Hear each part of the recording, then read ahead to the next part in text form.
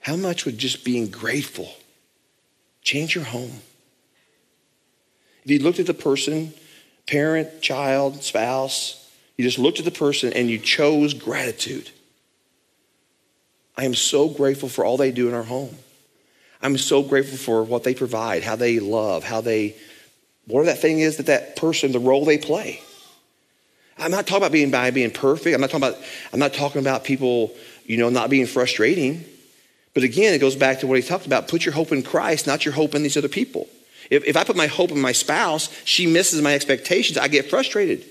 If I don't have expectations of my spouse, I don't get frustrated. I didn't expect her to do anything anyway. Is your hope in your kids? If your kids are getting great grades, if your kids are scoring all the touchdowns, hitting all the home runs, and you know doing great in school and whatever, then hey, you're awesome. But what if your kid's struggling? What if they choose to struggle because they don't, they don't care? Is your hope in your kid? What happens when your kids aren't there anymore? Hope's in your mind. Name the thing, pick the topic. It don't matter, just pick the topic. My point I want you to understand is that whether you show to, to have generosity that's motivated by gratitude, or you show, show yourself not to be very generous, Eh, because you're not very grateful at the end of the day.